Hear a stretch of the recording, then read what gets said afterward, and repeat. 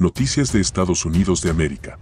Sean todos bienvenidos a este tu canal de noticias del momento, solo para ti. Mis amigos, en los últimos años, el término wokeism ha sido utilizado para describir una tendencia en la cultura y la política que promueve la justicia social y la igualdad. Sin embargo, algunos críticos argumentan que esta tendencia ha ido demasiado lejos y que está teniendo un impacto negativo en la sociedad y la política. Estos críticos se han agrupado bajo el término anti-wokeism y muchos de ellos son miembros del Partido Republicano. Mis patriotas, la pregunta que surge es si el anti-wokeism puede ser el pegamento que mantiene unido al Partido Republicano. La respuesta no es sencilla, ya que el Partido Republicano es una coalición de diversas corrientes ideológicas y políticas, y el anti-wokeism es solo una de ellas. En medio de la tensión y las diferencias entre los distintos grupos republicanos, ocurrió algo inesperado en el camino hacia una importante contienda política. A pesar de la rivalidad entre los partidarios del movimiento MAGA, los conservadores reacios a apoyarlo y los miembros del Partido Republicano establecido.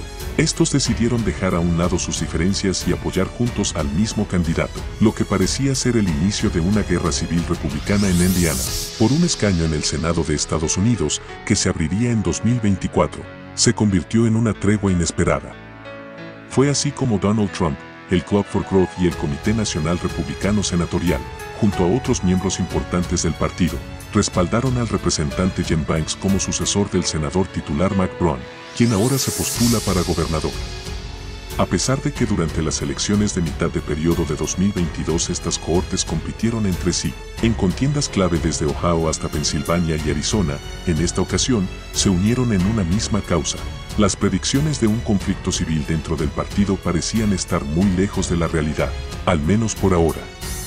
Este hecho divertido y sorprendente en la política estadounidense muestra que incluso en momentos de gran tensión y rivalidad, es posible encontrar puntos en común y llegar a acuerdos que beneficien al partido en su conjunto.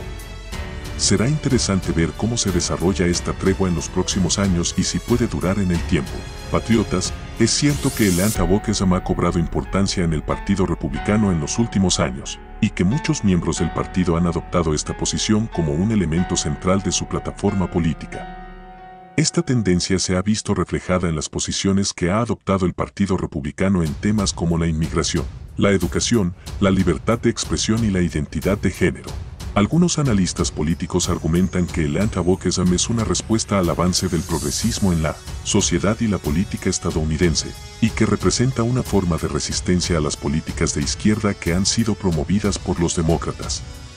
En este sentido, el anti-wokeism puede ser visto como un elemento unificador para el Partido Republicano, ya que representa una posición clara y definida en contraposición a las políticas progresistas. Sin embargo, otros analistas argumentan que el anti-wokeism también puede ser un elemento divisivo dentro del Partido Republicano, ya que no todos los miembros del partido están de acuerdo con esta posición.